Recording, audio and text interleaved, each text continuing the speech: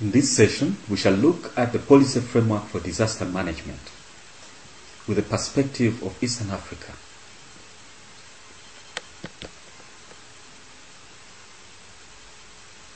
In the first part, we shall look at the frameworks for disaster risk reduction. Risk reduction emphasizes management of disaster risk. It is the systematic development and application of policies, strategies, and practices to minimize vulnerabilities and disaster risks throughout a society and to avoid, prevent, or to limit, mitigate, and prepare for adverse impacts of disasters within the broad context of sustainable development.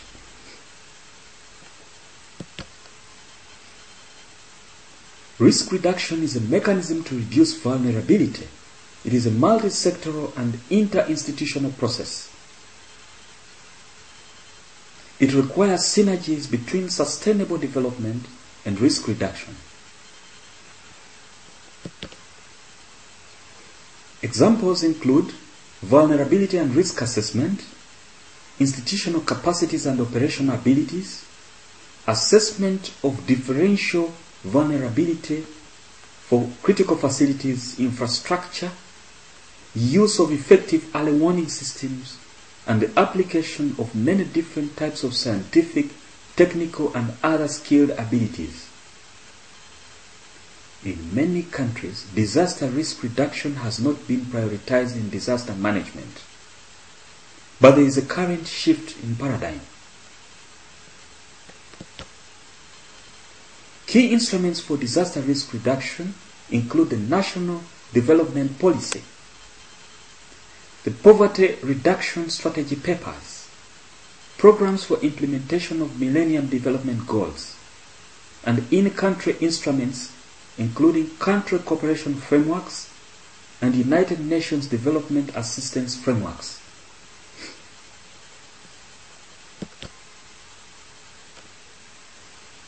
Disaster risk reduction is an all-encompassing entity that involves all sectors at national level. National plans should therefore be driving the driving force of disaster risk reduction. They provide an overall development framework for implementing a national vision. They identify national development concerns and they should define the development goals and opportunities and bring together all sectoral plans under a single framework for disaster risk reduction. Poverty reduction strategies are essential in disaster risk reduction and they should be articulated in a number of documents in countries. They include national development policy plans. In some countries, they are annual economic and social plans. The national budget is also important. Public sector investment programs and poverty reduction strategy papers. There are also re regional frameworks for disaster risk reduction, including the African Union Framework for Disaster Response, the Intergovernmental Agency for Development Early Warning Framework, IGAD, the East African Community Early Warning Mechanism, the Great Lakes Framework for Disaster Response, and the Regional Disaster Management Center of Excellence. These are frameworks that you should learn and try to find out the key provisions in these frameworks. There are also international frameworks for disaster risk reduction, the key being the Hyogo Framework for Action, which aims to build resilience of communities and nations to disasters. The sphere standards are instruments for ensuring quality of response the International Strategy for Disaster Reduction. And the UN under the UNDP has a number of instruments that provide for disaster risk reduction. Strategic goals of the Hyogo framework include effective integration of disaster risk reduction into national policies, plans, and programming at all levels, strengthening institutions and capabilities at all levels, and systematic incorporation of risk reduction into the design and implementation of emergency response and recovery plans.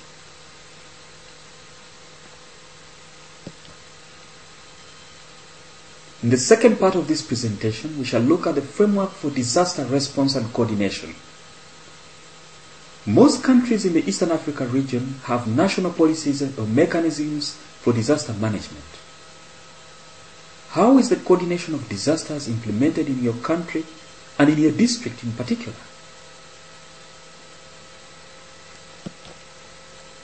Elements of the post-disaster phase include response, that is decisions and actions taken during and after the disaster, and they include immediate relief, rehabilitation, and reconstruction. The framework should contain objectives and goals of the response, framework for coordination, logistics and supplies management, communication and information management, survival response mechanisms, security and human rights, emphasis on the most vulnerable populations, emergency operations management, and then rehabilitation and reconstruction. Institutional frameworks for disaster response should exist at the national level, regional and provincial level, districts, and sub-district levels. At the national level, all countries have a central coordinating office. Some key sector ministries have a coordinating structure for disaster management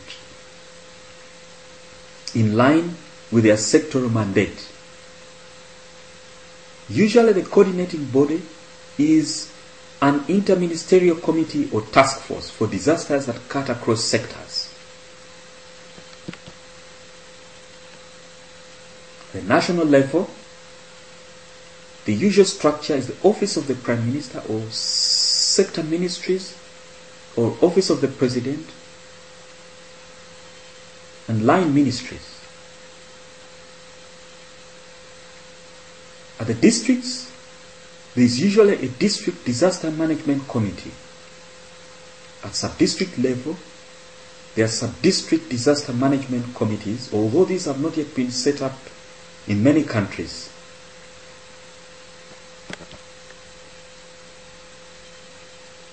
Ministries and sectors in the response.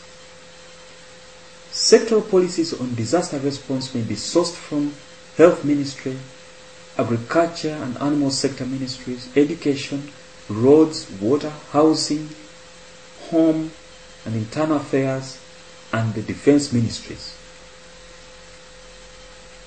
There may be subnational bylaws in relation to decentralization and the management of disasters in districts.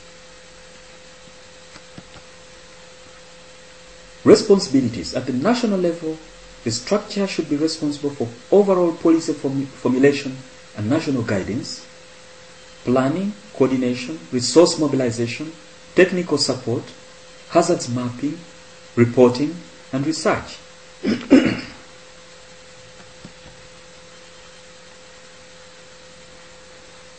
In regions, zones and provinces and districts, disaster management committees are necessary.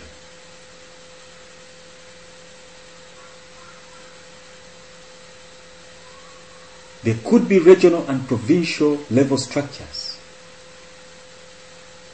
The informal sector may also be involved as well as the public sector, and these may have specific teams.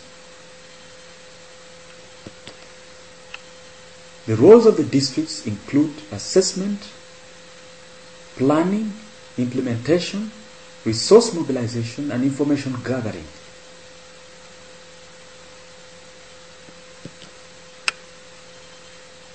Roles of sub-district levels include the need for availability of village and community structures. These are the usual first responders and they take charge of the local response. They should be in charge of creating local awareness and community surveillance. Other actors include UN agencies, international agencies and NGOs, faith-based organizations, community-based organizations, and the civil society. Coordination is an important cross-cutting element of disaster management. There is need to create a central source of guidance, a unit of command, establish clear leadership, and create coordinating bodies that are related to the command structure. Why coordinate? Avoid duplication, avoiding wastage of resources. The rationale is that there are many actors involved in service provision during emergencies, and there is a potential for confusion, competition, and duplication. The goal is to achieve the greatest impact through management and integration of activities and ensure that priorities are shared and to rationalize services by establishing common standards among all actors and to ensure communication occurs amongst stakeholders. All actors should work in harmony with the established policy framework. Disasters are political. Policy emphasizes the role of government, the role of the executive, and the, law, the role of local agencies. Challenges. Do you know any challenges likely to affect coordination of disaster management, especially at the district level? Challenges of coordination include multiplicity of actors, divergent views and policies, divergent interests, linkages, and resources.